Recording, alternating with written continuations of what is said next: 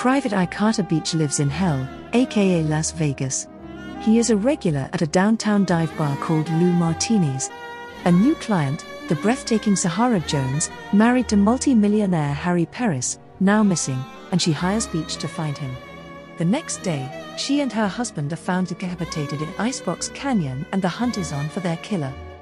Carter lives alone in a home once owned by a mild mannered accountant said to have stolen millions from the mob, money that was never found.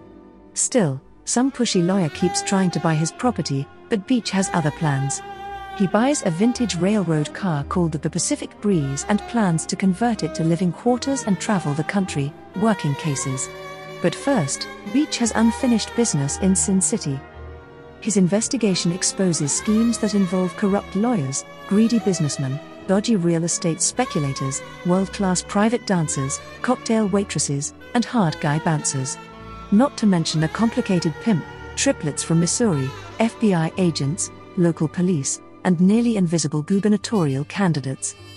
One of those people sets his house on fire, destroying it.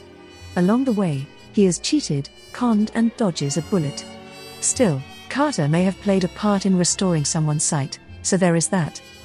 As the pieces fall into place, light shines on a series of seemingly unconnected crimes that line up to reveal a conspiracy that would change Las Vegas forever.